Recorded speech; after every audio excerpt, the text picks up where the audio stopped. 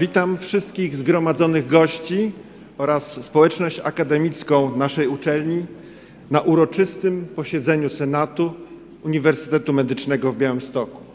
First of all, I would like to welcome our honorable guests, Dr. Genoveva Franchini, who has been conferred a title of Doctor Honoris Causa by the Senate of the Medical University of Białystok. Dr. Franchini is not only a world famous authority in the fields of virology and vaccinology, who has pioneered research on oncogenes and human retroviruses, but also one of the best friends of the Medical University of Białystok. Medical University of Białystok is very pleased to award Dr. Genevieve Franchini the degree of Doctor Honoris Causa.